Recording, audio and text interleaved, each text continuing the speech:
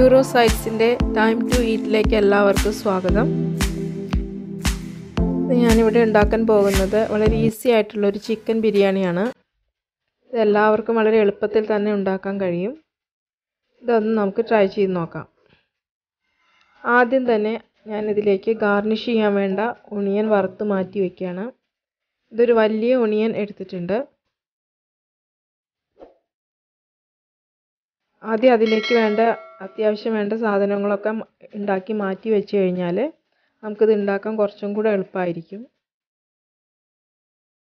ഇപ്പോൾ ഉള്ളി ഫ്രൈ ആയിട്ടുണ്ട്. നമുക്കതൊരു പാത്രത്തിലേക്ക് മാറ്റി വയ്ക്കാം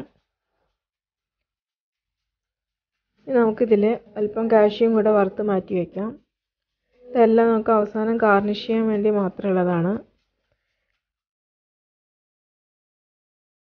കുറച്ച് റേസിൻസും കൂടെ വറുത്ത് മാറ്റി വയ്ക്കുകയാണ് ഇതിലേക്ക് നാല് മീഡിയം സൈസ് ഉള്ളിയാണ് ഞാനിവിടെ അരിഞ്ഞു വെച്ചിട്ടുള്ളത്. അതുപോലെ ഇതിന് വേണ്ടിയിട്ട് ഞാനൊരു ഒന്നര കിലോ ചിക്കനാണ് എടുത്തിട്ടുള്ളത്. ഇത് ഞാൻ മാരിനേറ്റ് ചെയ്ത് വെച്ചതാണ്. ഇതിൽ മൂന്ന് ടീസ്പൂൺ ടീസ്പൂണാണ് മൂന്ന് ടീസ്പൂൺ കാശ്മീരി ചില്ലി. അതേപോലെ ഒരു ടീസ്പൂൺ ജിഞ്ചർ ഗാർലിക് പേസ്റ്റ് ഓരോന്നും ഓരോ ടീസ്പൂൺ വീതമാണ് ഇട്ടിട്ടുള്ളത്.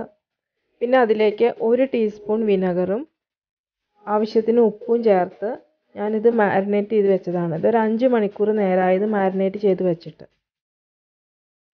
ഇനി ഇതിലേക്ക് ഒരു ആറ് പച്ചമുളക് ഒരു മീഡിയം സൈസ് ഇഞ്ചി ഒരു എട്ട് അല്ലി വെളുത്തുള്ളി ഇത് ചതച്ച് വെച്ചതാണ് ഇതിൽ അതിൽ കൂടെ അല്പം കറിവേപ്പിലയും കൂടെ ചതച്ച് വെച്ചിട്ടുണ്ട്. പിന്നെ രണ്ട് ടീസ്പൂൺ കുരുമുളക് പൊടി രണ്ട് ടീസ്പൂൺ ഗരം മസാലയും. ഈ അരിഞ്ഞു വെച്ച ഉള്ളി നമ്മൾ അരി അരി വേവിക്കുമ്പോൾ ചേർക്കാനുള്ളതാണ്. പിന്നെ ഇഞ്ചിയും വെളുത്തുള്ളിയും നമ്മൾ ചിക്കൻ മാരിനേറ്റ് ചെയ്തപ്പോൾ അതിൽ ചേർത്ത് വെച്ചിട്ടുണ്ട്. അപ്പോൾ ഇതിലെ കുറച്ച് ഭാഗം നമ്മൾ അരി വേവിക്കുമ്പോൾ ഇടാനുള്ളതാണ്. ഇനി ഏഴ് മീഡിയം സൈസ് ടൊമാറ്റോ ആണ് ഞാനിവിടെ കട്ട് ചെയ്ത് വെച്ചിരിക്കുന്നത്.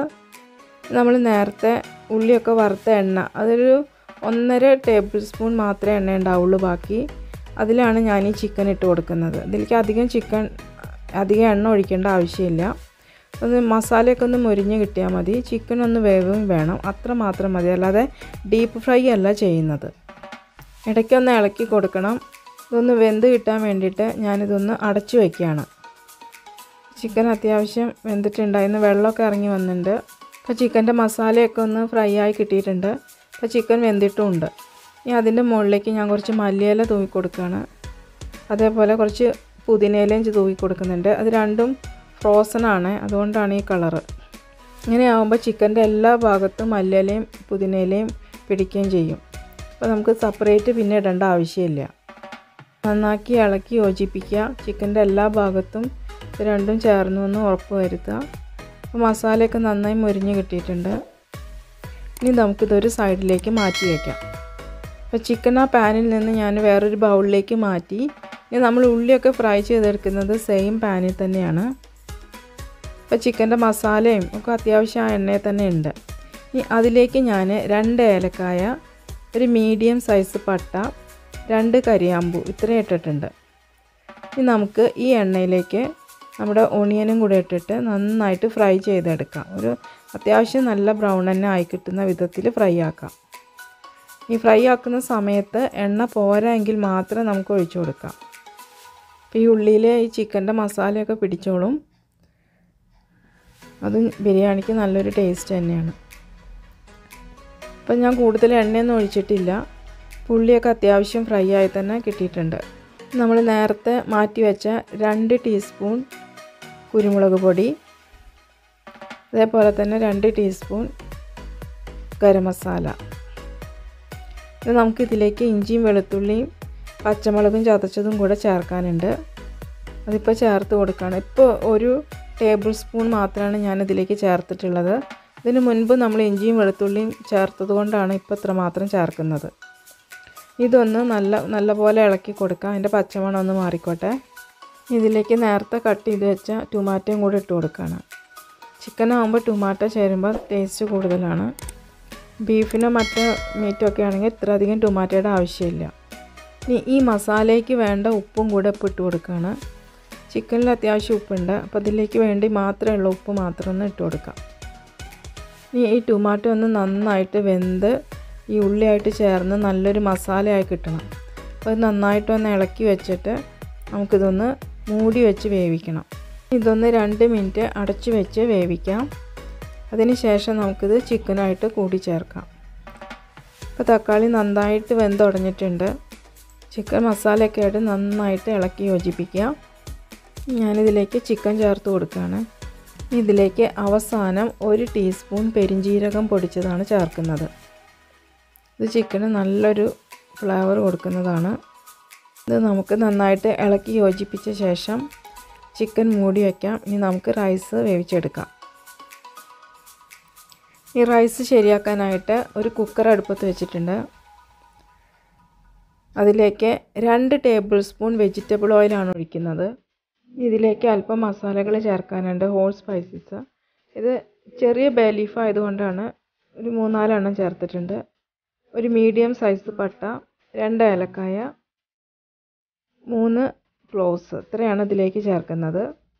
കൂടാതെ ഒരു ടീസ്പൂൺ ഷാജീരവും കൂടെ ചേർക്കുന്നുണ്ട്.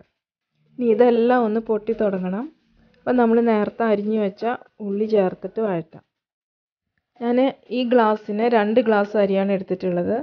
നമ്മുടെ ക്ലാസ്സിൽ നാഴി ഗ്ലാസ് എന്നൊക്കെ പറയുന്നില്ല ആ അത്രയും രണ്ട് ഗ്ലാസ് അരി. അത് നന്നായിട്ട് കഴുകി അരമണിക്കൂർ കുതിർത്ത് പാൽ വെച്ച അരിയാണിത്. ഇതിലൊട്ടും വെള്ളം തന്നെ ഇല്ല.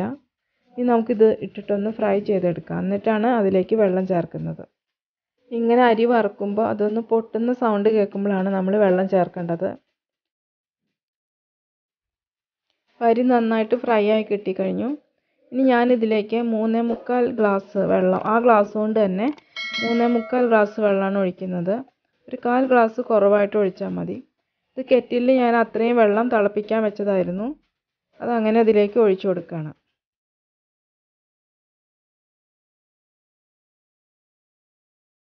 ഇനി നമ്മൾ നേരത്തെ ചതച്ച് വെച്ച ഇഞ്ചിയും വെളുത്തുള്ളിയും പച്ചമുളകും അല്പം കറിവേപ്പിലയും കൂടെയുള്ള ആ ചതച്ച് വെച്ച പേസ്റ്റും കൂടെ അതിലേക്ക് ഇട്ട് കൊടുക്കാം. പിന്നെ ഒരു ടേബിൾ സ്പൂൺ ലെമൺ ജ്യൂസ് ഇനി ആവശ്യത്തിന് ഉപ്പ് ഇട്ട് കൊടുത്തിട്ടുണ്ട്. ഇനി ഇതിലേക്ക് കളറിന് വേണ്ടിയിട്ട് അല്പം മഞ്ഞൾപ്പൊടിയും കൂടെ ചേർക്കുകയാണ്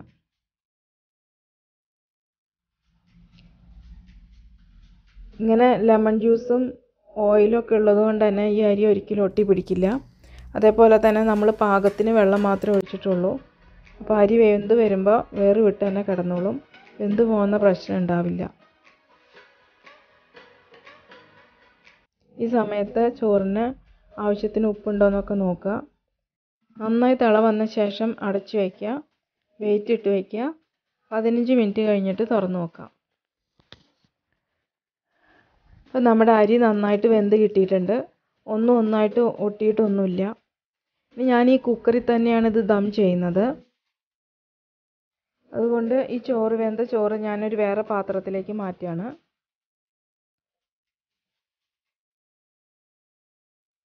ഞാൻ മാറ്റിക്കഴിഞ്ഞു. ഇനി അതിലേക്ക് അല്പം ചോറ് അടിയിൽ ഞാൻ വെച്ചിട്ടുണ്ട്. ഇതിന്റെ മുകളിലാണ് നമ്മൾ ചിക്കനും അരിയും കൂടെ ലെയർ ചെയ്തിട്ടുന്നത്. ഇനി അതിന്റെ മുകളിൽ നമ്മൾ ചിക്കനും ഒരു ലെയർ ഇട്ട് കൊടുക്കുകയാണ്. ഇനി അതിന്റെ മുകളിലേക്ക് നമ്മൾ നേരത്തെ ഫ്രൈ ചെയ്ത് വെച്ച ഓണിയനും കാഷ്യും റൈസിൻസും കൂടി ഇട്ട് കൊടുക്കുകയാണ്. അതിന്റെ മുകളിൽ ഒരു ലെയർ റൈസും കൂടി ഇട്ട് കൊടുക്കാം.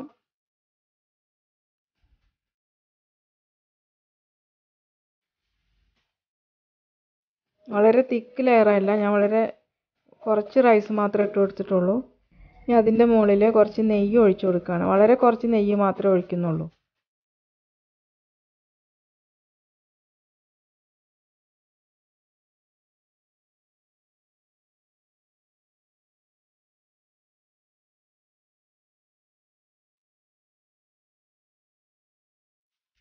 അങ്ങനെ രണ്ട് മൂന്ന് ലെയറായിട്ട് ചിക്കനും റൈസും കൂടെ ഇട്ട് കൊടുത്തു. ഞാൻ കുക്കർ ലോ ഫ്ലെയിമിലാണ് സ്റ്റൗവിൽ വെച്ചിരിക്കുന്നത്. ഇത് നല്ലതായിട്ടൊന്ന് സ്റ്റീം കയറണം ഇത് കുക്കർ അടച്ചു വെച്ചിട്ട് ലോ ഫ്ലെയിമിൽ സ്റ്റൗവിൽ തന്നെ വെക്കുകയാണ്